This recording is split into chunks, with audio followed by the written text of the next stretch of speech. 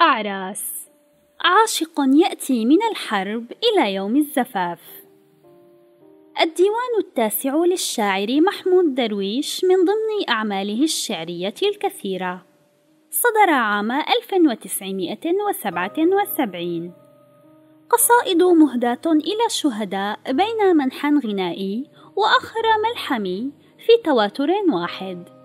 فهناك دوما سبيل للحياة في شعره. إلا إنهم يغتصبون الخبز والإنسان. عندما تتناول عملا لمحمود درويش فإنك حتما ستتوه في معان وصور وعواطف كثيرة. ديوان أعراس بقصائده الخمسة عشرة يأخذك إلى الأرض الأولى حيث النخيل والبنفسج والشاطئ والدم حيث خديجة واقفة عند الباب بعد مقتل الفتيات تريد أن تغلقه. وحيث أحمد أحمد العربي أو أحمد الزعتر أو أيا كان اسمه بيدين قويتين خصبتين. وحيث تكالبت عليه البشرية وهو الأعزل إلا من حلم. هو البنفسج في قذيفة. وحيث يأتي عاشق من الحرب إلى يوم الزفاف متحدثا عن محمد الشهيد أمير العاشقين وزوج الدوالي وسياج الياسمين. ثم يأخذك إلى المهجر إلى أرض غريبة عنك لكنها أكثر أمانا لك. أهي كذلك؟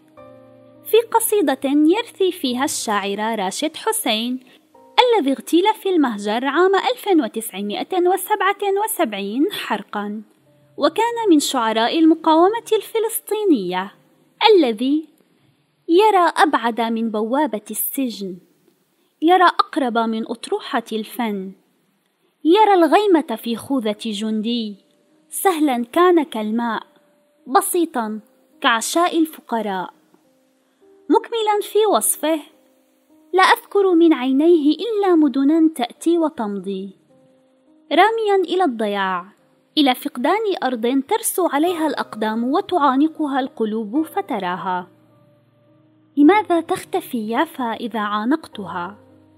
وفي مرثية أخرى بقصيدة الرمل عن إبراهيم مرزوق كان يرسم وطنا مزدحما بالناس والصفصاف والحرب وموج البحر والعمال والباعة والريف ويرسم جسدا مزدحما بالوطن المطحون في معجزة الخبز.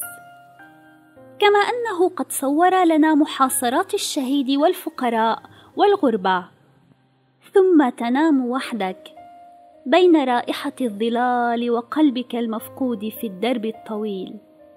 وكعادة درويش لا يخلو شعره من أنثى ولو كانت مجازية.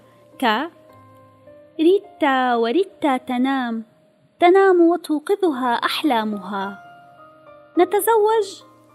نعم. متى؟ حين ينمو البنفسج على قبعات الجنود. خاتما ديوانه بست قصائد تحت عنوان حالات وفواصل متطرقا فيه إلى الوجود تارة. هل يحس المحبون أني لهم شرفة أو قمر؟ إنني أنتظر. وإلى الحب تارة. رجل وامرأة يفترقان ينفضان الورد عن قلبيهما ينكسران وإلى النسيان أحيانا أخرى. لا أنسى من المرأة إلا وجهها أو فرحي كل قصيدة كانت جسدا أو اعتداء أو نبضا لم تكن كلاما. وما نفع القصيدة؟ شاعر يستخرج الأزهار والبارود من حرفين. والعمال مسحوقون تحت الزهر والبارود في حربين. فدوما هناك سبيل في شعره للحياة إلا إنهم يغتصبون الخبز والإنسان. بأسلوبه الشيق بين لحن غنائي وآخر ملحمي بين تفصيل سردي وتكثيف شعري منتقلا من السارد إلى الشخصية ومن الشخصية إلى السارد. متمحورا حول عناصر الموت والحياة ذائبا في رموز أبدية.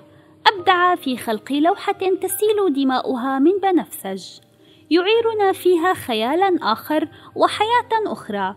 رغم تصويره لمعاناة الواقع معطيا إيانا هدفا. الأرض.